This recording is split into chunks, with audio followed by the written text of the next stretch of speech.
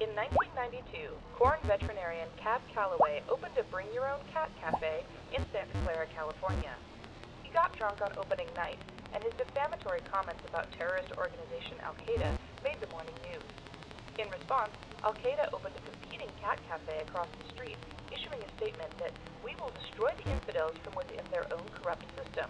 Al Qaeda's cat cafe was a massive success. Calloway now works across the street from the cafe as a dog vendor.